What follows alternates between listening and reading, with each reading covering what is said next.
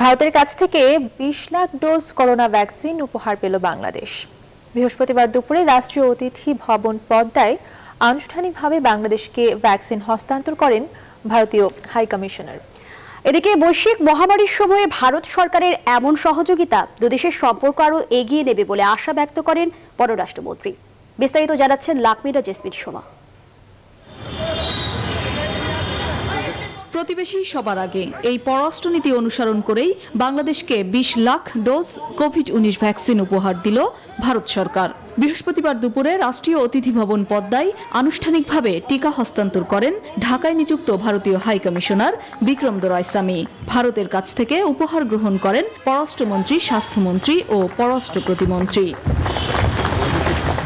এ সময় ভারতের কাছে প্রতিবেশী বাংলাদেশের গুরুত্ব তুলে ধরে দ্বিপাক্ষিক সম্পর্ককে আরও এগিয়ে নেওয়ার উপর জোর দেন ভারতীয় high commissioner This is among the fastest deliveries of vaccines that we've done uh, for, for anybody, primarily because of the importance of ensuring that our friends also achieve immunity along with us.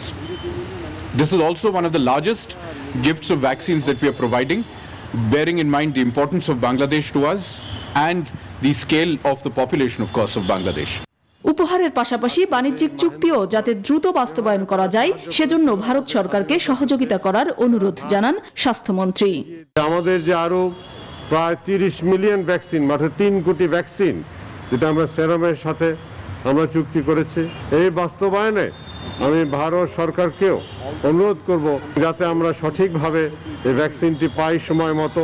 প্রধানমন্ত্রী শেখ হাসিনা ও প্রধানমন্ত্রী নরেন্দ্র মোদীর শক্তিশালী নেতৃত্ব এবং দ্বিপাক্ষিক সুসম্পর্কের কারণেই বাংলাদেশের মানুষ এত দ্রুত ভ্যাকসিন পেল উল্লেখ করেন পররাষ্ট্রমন্ত্রী।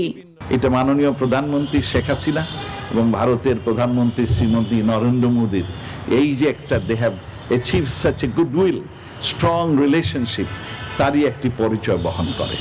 এর আগে সকাল সাড়ে এগারোটার দিকে একটি বিশেষ ফ্লাইটে ভারত থেকে টিকা বহনকারী বিমান ঢাকায় এসে পৌঁছায়। একশো সাতষট্টি কার্টুনে বিশ লাখ ডোজ ভ্যাকসিন আনা হয়। প্রতি বক্সে আছে বারোশো ভায়াল vaccine.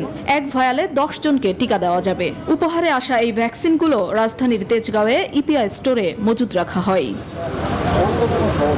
Lakmina Jesmin Soma, news twenty Dhaka.